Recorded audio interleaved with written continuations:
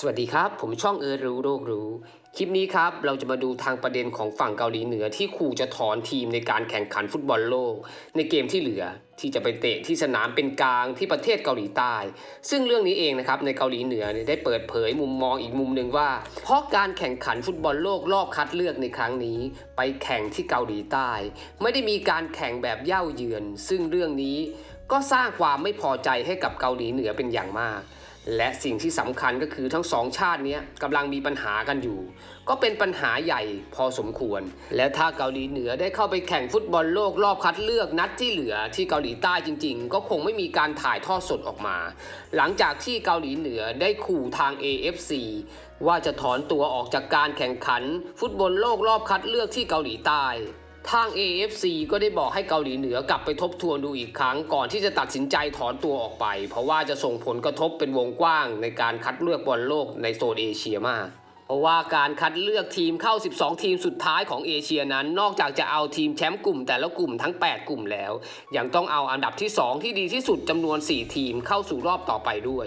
หากกาตาเจ้าภาพฟุตบอลโลกสามารถคว้าอันดับหนึ่งของกลุ่มได้ ก็จะคัดทีมอันดับ 2 ที่ดีที่สุดกลายเป็น 5 ทีมทันที เพราะว่ากาตาไม่ต้องไปทำการแข่งขัน 12 ทีม เพราะเป็นเจ้าภาพฟุตบอลโลก ได้สิทธิ์ในการเล่นฟุตบอลโลกรอบสุดท้ายอยู่แล้ว และถ้าเกาหลีเหนือทำการถอนตัวไปจจริง ๆ จะทำให้การคัดอันดับที่ 2 ที่ดีที่สุดของทุกกลุ่ม จะต้องตัดเอาผลคะแนน การเจอทีมสุดท้ายของแต่ละกลุ่มออกไปทันที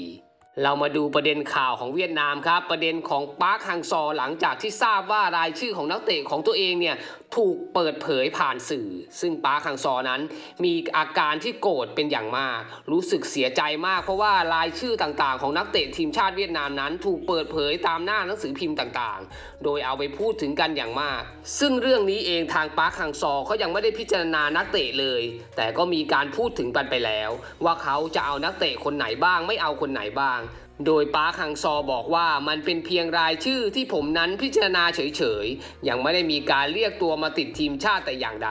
สำหรับทีมเวียดนามครับ เขาต้องการแค่ 4 คะแนนเท่านั้น เขาก็จะผ่านเข้ารอบโดยอัตโนมัติเลย ซึ่งเป็นความหวังของแฟนบอลเวียดนามทั้งชาติ การออกมาแสดง acting ในครั้งนี้เองก็น่าจะเป็นการตอบกลับสื่อที่ชอบเอาข่าวสารออกมาเปิดเผยก่อนนั่นเอง ส่วนทางด้านโค้ชซิโก้ในเกมนัดสุดท้ายของเลกแรก ที่จะออกไปเยือนทันกวางนินในวันที่ 7 พฤษภาคมนี้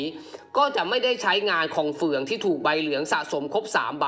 และหวานตวนด้วย ก็จะเป็นงานหนักของโค้ชซิโก้เลย ส่วนเจ้าบ้านอย่างทันกวางนินก็จัดสนามซ้อมให้กับทีมฮองอัญญาลาย แบบสุดพิเศษเลยก็คือว่าธรรมชาติดีมากสวยงามมาก แต่ว่าพื้นสนามเนี่ยหญ้าไม่ตัดสนามขรุขระไม่เหมาะแก่การที่จะทำการฝึกซ้อมเลยแม้แต่น้อย แต่ทำยังไงได้ครับ ทีมฮองอัญญาลายก็ต้องทำการฝึกซ้อมในแบบอย่างนั้นไป